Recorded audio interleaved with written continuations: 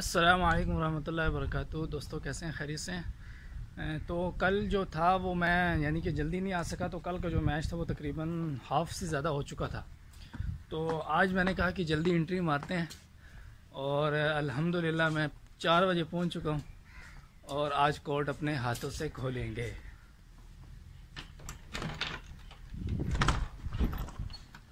जब बच्चा छोटी सी उम्र से प्लेयर हो ना और छोटी सी उम्र से खेल रहा हो और उसका जो कॉन्फिडेंस लेवल है ना, वो यहाँ तक पहुँचता है।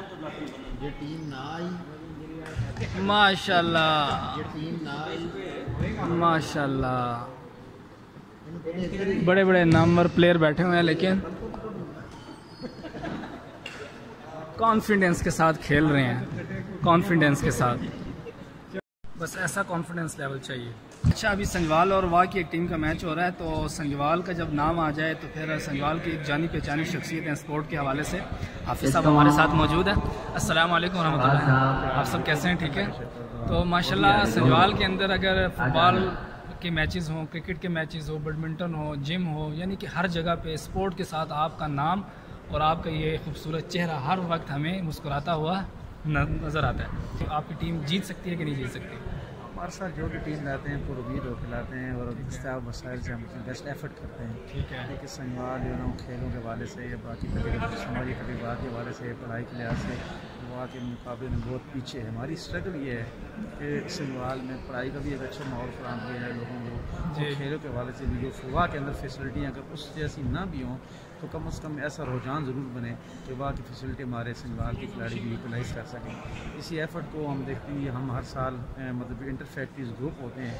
हम अपनी टीमें लाते हैं और मुख्तु गेमों में पार्टिसपेट करते हैं और आपको मैं बताता चलूँ कि अभी जो पिछला इंटर फैक्ट्री गुजरा है, उसमें हमने कबड्डी में चैंपियनशिप जो चैंपियन है वो हम हैं। माशाल्लाह, तो काफ़ी अर्से बाद उससे पहले जो पचासवां इंटर फैक्ट्री था उसमें हम तीसरी पोजीशन पर रहे थे काफ़ी अर्से बाद वैसे भी हमारी जो फैक्ट्री की टीमें कबड्डी की ऑलमोस्ट दस बारह साल हमारे पास इंटर फैक्ट्री का कप रहा है फुटबॉल में हमारे पास रहा है। इस दफ़ा इंटर फैक्ट्री में क्रिकेट के हवाले से हम सेमीफाइनल जो है ना वो हमने लूज़ किया है लेकिन काफ़ी अर्से बाद हम सेमीफाइनल के लिए हमने क्वालिफाई किया है। लास्ट हम बैडमिंटन में क्वार्टर फाइनल आ रहे थे नहीं नहीं सही टाइम पे आई हैं कोई मतलब नहीं कोई मसला नहीं अस्सलाम ठीक है तो कोशिश हमारी यही है कि इन वो वक्त इन दूर नहीं है कि जब संभाल की टीमें भी एक दफ़ा खेलेंगी ग्राउंडों पर जिस तरह पहले उन्होंने है.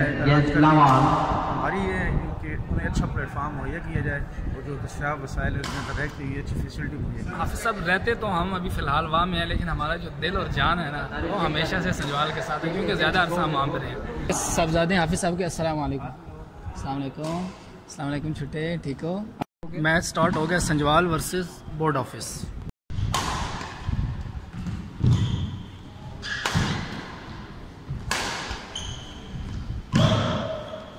very good 11 4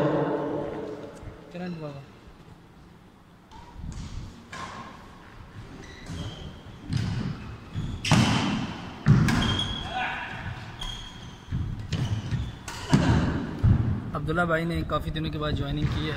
जी अस्सलाम वालेकुम रहमतुल्लाह अब्दुल्ला भाई। किधर गायब थे 13 4 स्कूल खुल गए मसरूफ़ हो गए और आजकल नहीं आ रहे। चलें अच्छा किया कि आज आप आ गए। बस मैच हो रहा था हाँ तो आज भी मैंने कहा चलो ब्लॉग बनाते हैं कोई अच्छा सा पंजवाल को हरा दिया है बेस्ट ऑफ़ थ्री में बोर्ड ऑफ़िस ने टू सिफर से। तो बाकी ये हमारे साथ एक सिविल इंजीनियर, मुझे आज पता चला है कि हज़रत सिविल सिविल इंजीनियर है और मैं एक हफ़्ते से एक इंजीनियर की तलाश में हूँ। और हज़रत इधर आके हमारा दिमाग भी खाते हैं, लेकिन बताते नहीं हैं कि हम इंजीनियर हैं ये क्या है। तो अभी इनकी टेक्निकल इंजीनियरिंग फॉल्ट जो है ना, उनको अब अभी थोड़ी थोड़ी देर में दुरुस्त करते हैं। संजवाल को वाकेंड ने तीनों मैचेस हरा दिए हैं और संजवाल अभी जा रही है। तो अभी नमाज़ का टाइम हो गया तो अभी पढ़ते हैं नमाज़ तो नमाज़ के बाद दूसरा मैच स्टार्ट होगा। तो फिर इंशाल्लाह उसको कवर करते हैं। ये मैच देखने वाला है जो सही सही मानों के अंदर ना मज़ा देगा। तो अभी थोड़ी देर में स्टार्ट होता है। एम की टीम जो है वो हैं हसन अंकल और अब्दुल्ला के पापा मुदसर अंकल मुदसर भाई। दोनों कोच भाई भाई अंकल कुछ भी कह सकते हैं। और दोनों कोच हैं। दोनों पी एफ़ वाह के यानी कि दो कोर्ट हैं उनके एक अलग अलग मुदसर भाई यहाँ के कोच हैं और हसन अंकल छब्बीस एरिया का जो कोर्ट है वहाँ के को, कोच हैं। तो मज़ा आएगा गेम का कि जब कोच खेल रहे होंगे और उसके बदने मुकाबले कोई होगा तो फिर पता चलेगा कि कौन कितने पानी में है। मुखालिफ टीम को बड़ा टफ टाइम मिलने वाला है।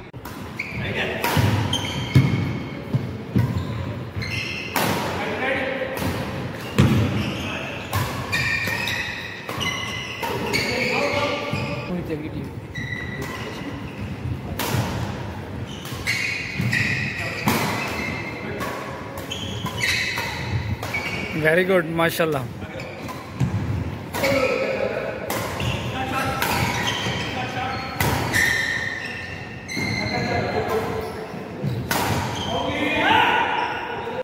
नाइन लॉस पॉइंट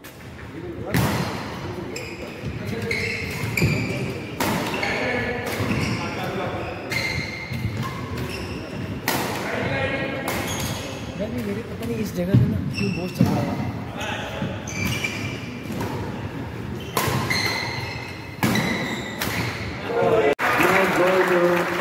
जीत गए हैं। कोचेस जीत चुके हैं। सीनियर तो फिर सीनियर है ना। अच्छा अभी हमारे साथ मौजूद हैं हाफिज़ उबैदुल्ला मुदसर साहब। नन्हे मुन्ने छोटे से फ्यूचर के हाफिज़ हैं। और अभी बड़े नाखुश हैं कि इनका कायदा ख़त्म नहीं हो रहा। उबैदुल्ला, इधर देखो, कैमरे में देखो। सलाम करो सबसे पहले। तो अभी आप, वालेकुम अस्सलाम रहमतुल्लाह। देखने वालों को सलाम कर रहे हैं तो आपने जवाब देना अभी आप बता रहे थे कि मेरा कायदा ख़त्म नहीं हो रहा तो मैं बड़ा खफा हूँ। तो क्यों खफा हो? कार साहब सबक नहीं सुन रहे। कार साहब सबक नहीं सुन रहे? क्यों नहीं सुन रहे कार साहब सबक? मैं जाती हूँ सुनाने तो टाइम थोड़ा होता है फिर हो जाता है। वो सुनते ही नहीं जाके बैठा रहता हूँ। तो गलत बात है जी। तो आप कह रहे हैं जल्दी जल्दी कायदा ख़त्म हो ताकि मैं स्टार्ट करने लग जाऊँ। एक मुझे ये बात बताएँ कि कारी साहब ने वो आप उसको बताते हैं कि उस्ताद की मार जिस जगह पड़ती है तो वो जगह जन्म की आग में नहीं जलती? हैं? सुनाते हैं ना। कारियों को मैं कहता हूँ, खुदा का खौफ करो और ये चीज़ें छोड़ दो, ठीक है? और अगर ऐसी कोई हदीस अगर कुर्रा को मिले ना तो मुझे भी याद होता है ठीक है? खुदा का वास्ता इन बच्चों को ना मारो हजूर सल्लल्लाहु अलैहि वसल्लम ने अपनी ज़िंदगी में, अपनी ज़िंदगी में किसी भी छोटे बच्चे को नहीं मारा। हाथ किसी भी बच्चे के ऊपर हाथ नहीं उठाया। तो ये हजूर सल्लल्लाहु अलैहि वसल्लम की सुन्नत है। जो तुम कारियों में नहीं है। खुदा का वास्ता है बच्चों की जान साहब ने बैतुल्ला को मार मार के बेचारा देखो। खैर ऐसा होता रहता है जब मैं भी हिफ्स में गया था ना तो उबैदुल्ला जब मैं हिफ्स में गया था ना तो मैं बड़ा हट्टा कट्टा मोटा था ना ठीक ठाक जब मैं हिफ्स में गया तो तीन चार महीने के अंदर ना मैं बिल्कुल खुश हो गया। तो मेरी मोहल्ले की जो हमारी आंटियाँ होती थी ना मोहल्ले में वो आके वालदा को बोलती थी कि आपने अपना बच्चा ना यानी कि ज़ाया कर दिया बस अब। बिल्कुल कमज़ोर हो गया ये हो गया हो गया। असल में मेहनत करनी होती है ना तो ये चीज़ें लगी रहती हैं कोई बात नहीं खैर। है तो लेकिन इस पर अजब भी तो बहुत है ना देखें ना इतनी बड़ी जन्नत मिलेगी क्या कुछ मिलेगा उसके लिए बंदा थोड़ी सी मुशक्क़त करता है तो कोई मसला नहीं ठीक है? इस तरीके का फाइनल मैच होगा हो सकता है मैं यहाँ हूँ या ना हूँ अगर मैं फ़ाइनल में हुआ तो असल जो मज़ा आएगा ना वो फ़ाइनल का मैच होगा। तो इस वक्त मैंने जाना है अकेडमी तो अभी टाइम मेरा हो गया अकेडमी जाने का। नमाज़ पढ़ाएँगे फाइनल मैच की।